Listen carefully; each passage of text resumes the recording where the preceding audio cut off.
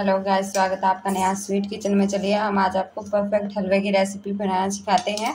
हम आज हमारी जो बुआ जी आई हुई हैं, वो बनाना सिखाएँगे आपको परफेक्ट हलवे की रेसिपी चलिए, हम सिखाते हैं वो कैसे बनता है। मैं आपको याद दिला दें, अगर आपको मेरी वीडियो पसंद आई तो प्लीज़ मेरे चैनल को सब्सक्राइब करें, मेरे वीडियोज़ को लाइक शेयर एंड कमेंट करना ना भूलें। चलिए, ज़्यादा बातें नहीं करेंगे, बनाना शुरू करते हैं हमारा हलवा।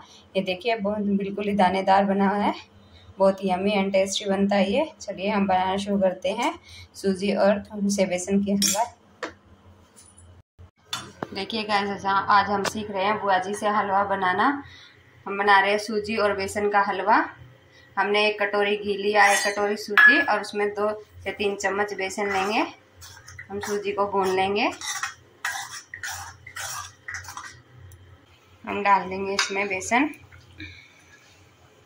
दोनों चीज़ों को हम अच्छे से भून लेंगे।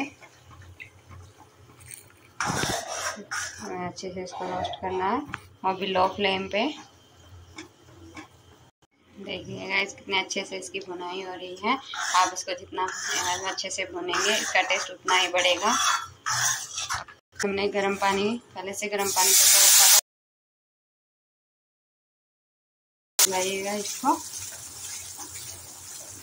तो थोड़ा सा उछलता बहुत है, इसलिए थोड़ा सा इसको आराम से चलाते रहिएगा। थोड़ा थोड़ा करके पानी डालिएगा। पहले इस पानी ख़त्म अच्छे से शॉक कर देखिए हमने इसमें थोड़ा सा पानी और डाल दिया है। इस टाइम पे आप फ्लेम को थोड़ा सा बढ़ा लीजिए।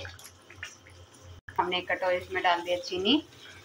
जितने हमने सूजी ली थी, उसी हिसाब से हमने घी लिया था और एक कटोरी घी, एक कटोरी सूजी और एक कटोरी हमने चीनी ली है।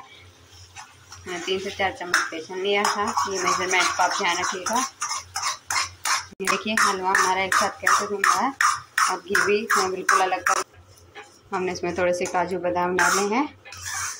अगर छोटा अपने अकॉर्डिंग डाल सकते हैं। देखिए कि हलवा कितना परफेक्ट बना है। घी नहीं डाला है, आप देख सकते हैं। हमने घी ये देखिए, इसने घी कितना अच्छे से अलग किया है। देखिए गए हमारा हलवा बनकर तैयार है। चलिए, हम सर्व कर लेंगे इसको। चलिए गैस तैयार है हमारा। जो हलवा है, वो तैयार है। हम इसको थोड़ा सा ड्राई फ्रूट देखिए, बिल्कुल परफेक्ट हलवा बनकर तैयार है। आप बनाइए इंजॉय करिए। Thanks for watching